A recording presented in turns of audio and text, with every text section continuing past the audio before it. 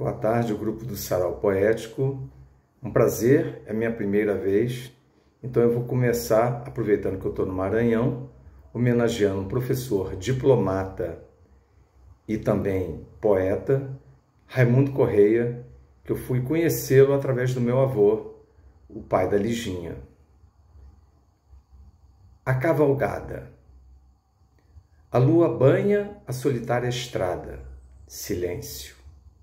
Mas além, confuso e brando, o som longínquo vem se aproximando do galopar de estranha cavalgada.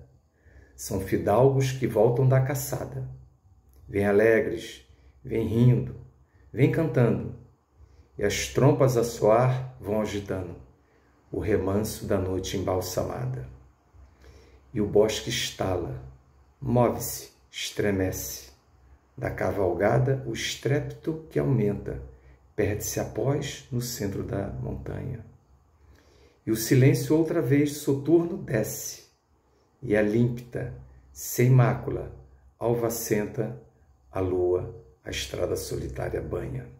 Sinfonias de 1883. E vou encerrar com uma outra dele, também Sinfonias de 1883. Amor e vida. Esconde minha alma no íntimo, oprimida, este amor infeliz, como se fora um crime aos olhos dessa que ela adora, dessa que, crendo-o, crera-se ofendida, a crua e rija lâmina homicida.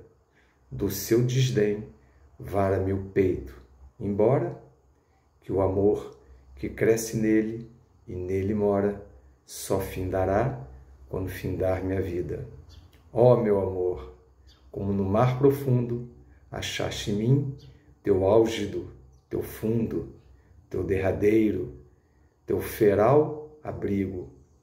E qual do rei de Tule a taça de ouro, ó oh, meu sacro, ó oh, meu único tesouro, ó meu amor, tu morrerás comigo.